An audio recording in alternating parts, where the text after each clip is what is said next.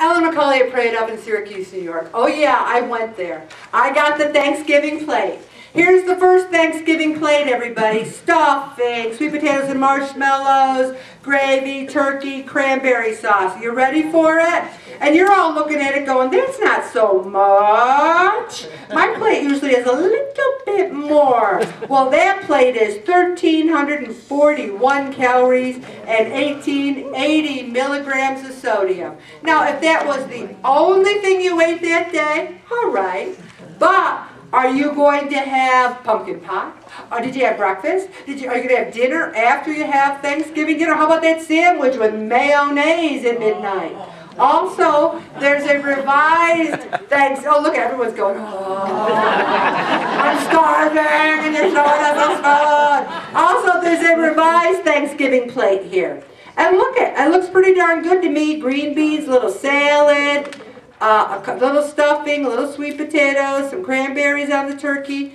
And you might think that's all healthy, so it doesn't count. It's still 653 calories and 684 milligrams of sodium.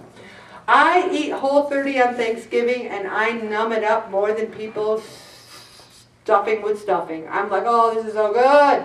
I, there's turkey, there's, there's, I, we have fresh fruit, we have salad. It's so, so good. Sweet potatoes is on Whole 30. I just want you to think about it.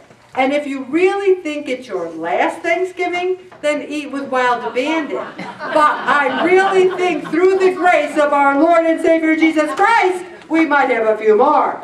Also, I might recommend wearing a tight-fitting outfit. Like if you go, oh, you like these pants? They're really a little tight, but and they're so tight you can't sit down, you might not be able to overeat.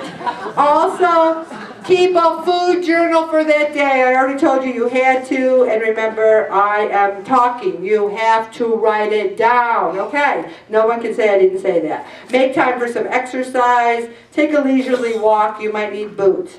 Also, just remember that if you eat 2,000 calories for your Thanksgiving meal, that it will take you five hours or more to exercise that off. Okay? And I'm going to stop right there, Bobby. Oh, I have played.